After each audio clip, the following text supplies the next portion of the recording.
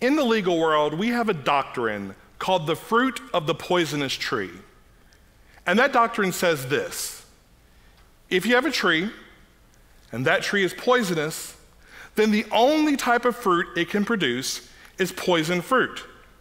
A poison tree will produce nothing but poison. Now, attorneys typically use this doctrine to get ill gotten evidence thrown out of court. But I think this is the perfect diagram to help us understand toxic masculinity. Let's call it the toxic masculina tree. And if we can understand how the toxic MasculiniTree grows, then we can understand how toxic masculinity is created. So, what do we need to grow a tree? Well, the first thing we need is sunlight. Tree needs sunlight to grow. And for the toxic MasculiniTree, that sunlight is dominion, the control over another person. And if we look at the pieces of fruit that the toxic masculine tree produces, we see dominion all around. Domestic violence, the control over an intimate partner through the use of mental, physical, and emotional weapons. Racism, the idea that one race is dominant over another. Homophobia and transphobia, the idea that somehow cis people are dominant over members of the LGBTQ plus community. And of course, sexual assault, the control over another person through the use of sex. If you look at the fruit of the toxic masculinity tree, you will see dominion reflecting off every single piece. So we have our sunlight. Well, what else do we need? Well, we need soil, right? Yes, we need soil, rich in nutrients, so that tree can get its roots and dig in there and, and really get strong. And for the toxic masculinity tree, that soil is entitlement. The idea that men are owed something all because of our penis.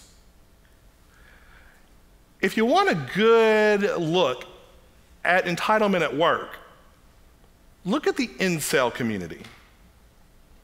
Incel, which is short for the phrase involuntarily celibate, found its roots in 1993 when a young Canadian woman named Elena went to university. Elena got to school and she looked around and she noticed that all of her friends were in relationships, but she wasn't.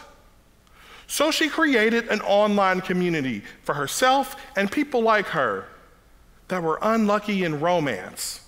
An online community where people, people could come together, they could show each other support, love, and they could work with each other. Over time, Elena would discover her own sexuality, and when she did, she would move on and get that relationship she was looking for. But when Elena left her incel community, well, that's when entitlement seeped in. Now, if you find yourself into, in an incel community, you are in a corner of the internet filled with frustration anger, and hatred, all directed at women for having the audacity not to meet the entitlement expectation of men. But it's not just online.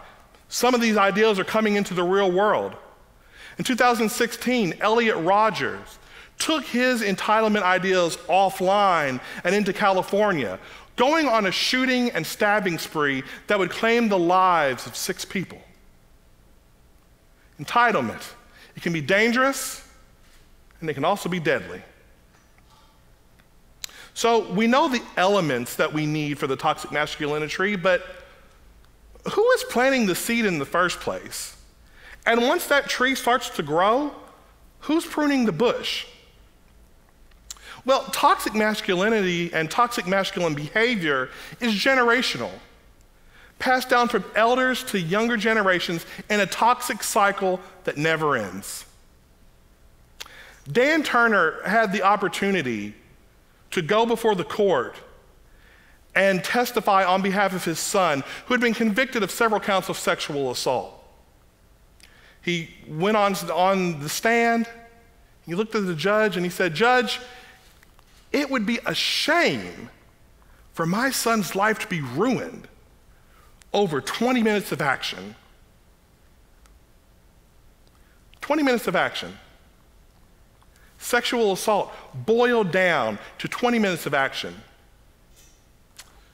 If that is how Dan Turner, the father, looks at sexual assault, then it is no surprise that Brock Turner, the son, would have sexual assault in his masculinity profile.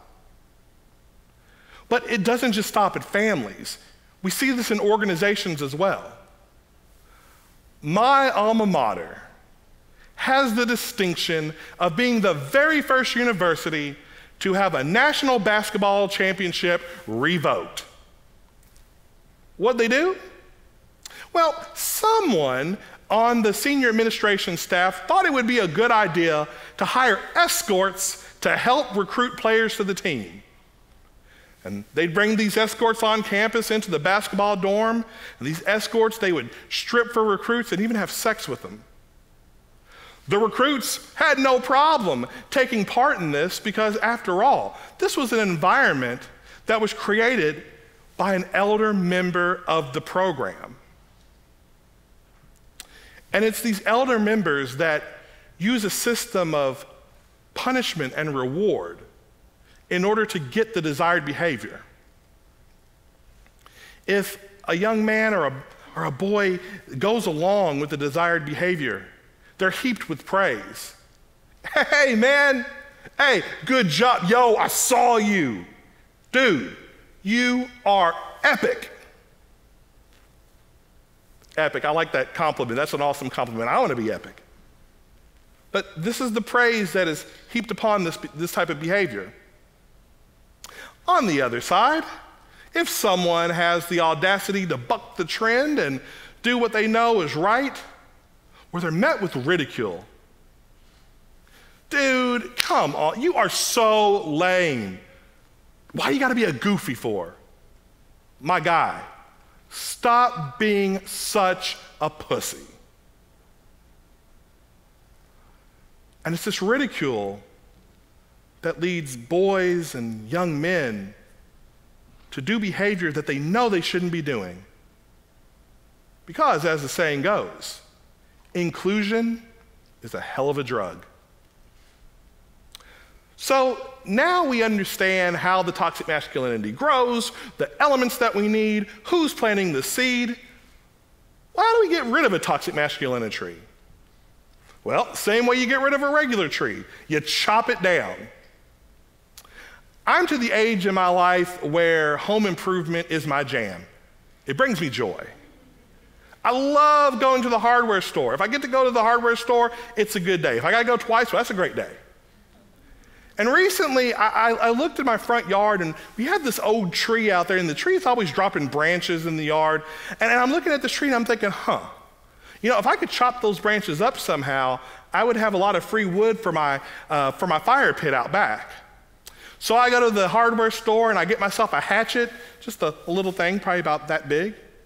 I come home and I, I, go in the yard and I pull a branch right out into the middle of the yard. See, I wanted it in the middle because I wanted the entire neighborhood to see this. I was going to let them know hey, there is a real man that lives at this house, a real wood chopping man. Had my tank top on, got the gun showing, and, and in my mind, I'm going to take this hatchet and I'm going to come down like Thor's hammer, and in one swipe, I'm going to break through this piece of wood. So, so, so I, I, I come back and I bring that thing down and uh, half inch. See, for those of you who have actually cut wood before, you know that that's not how it goes. It's a process. And I learned real quick about that process. So here I am outside. I'm, I'm, I'm hacking away. I'm chopping. I'm stanking and sweating, sweating and stanking. My daughter's over here looking at me like, oh my gosh, this is my dad. And finally and mercifully, my across the street neighbor comes over with an axe and he says, Dude, it's getting sad. Let me help. And then together we were able to chop up that wood and, and we had a nice uh, bonfire that night. But that's the exact same way we need to go about chopping down the toxic masculinity tree. Can you do it yourself? Sure, you can try. But what's going to happen? You're going to get tired, you're going to get frustrated, sweaty, you may even quit. But if you can reach out and find a neighbor or a friend or a fraternity brother or a teammate or a coworker or a classmate that can come and help you chop, the process is going to go much easier. And, and men all around the country are starting to get it. The men's basketball team at Willamette University, they pick up the acts of education and they teach healthy masculine behavior with the same priority that they teach a jump shot. The fraternities at UC Poly are picking up the acts of action, and each year they host a Healthy Masculinity Week, seven days full of lectures, workshops, and community service.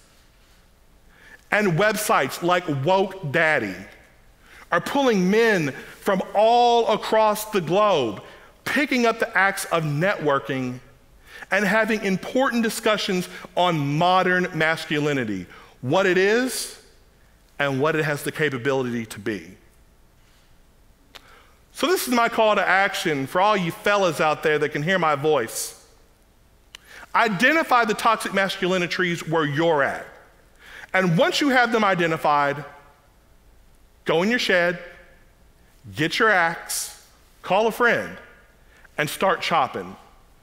Because if you do, you won't be able to knock those toxic masculinity trees down. And when they're knocked down, the ground will be ripe for a brand new tree a healthy masculinity tree that will bear the fruit of compassion, respect, and consent. And that, my friends, is fruit that we can all enjoy. Thank you.